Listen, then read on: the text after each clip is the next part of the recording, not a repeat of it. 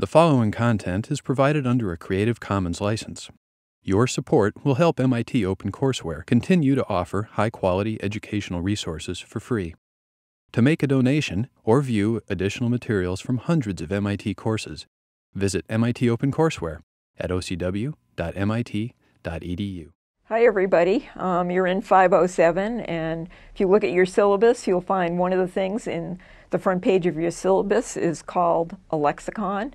Um, and I'd like to introduce you to why um, we've chosen to have a lexicon for this course. So if you look at this particular slide or overhead, this is what John is going to teach you this semester.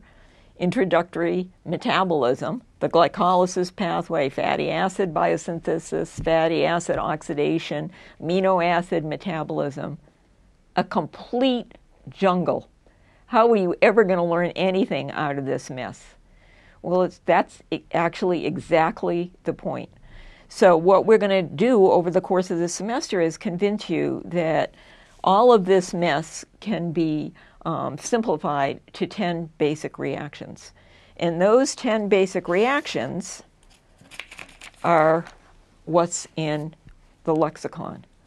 So, it turns out all of biochemistry um, for primary metabolism can be described using 10 different sets of reactions and your vitamin bottle. And so if you look at your vitamin bottle, what do you see? Most of you probably take vitamins. You have vitamin B1, vitamin B2, vitamin B3, vitamin B6, vitamin B12. All of those um, provide enzymes, the catalysts for all the reactions in these this complex metabolic pathway I showed you um, on the previous slide. Um, they expand the repertoire of reactions um, that enzymes can actually catalyze. And so within the lexicon, what we're going to show you is the chemistry of actually how these vitamins work. So again, if we come back to the lexicon, um, we'll talk about how carbon-carbon bonds are made and broken, fatty acid metabolism, um, sugar metabolism. We'll talk about oxidation reduction reactions and the, the vitamins that are used for that transformation. We'll talk about the energy storage and the energy currency in the cell, ATP, etc.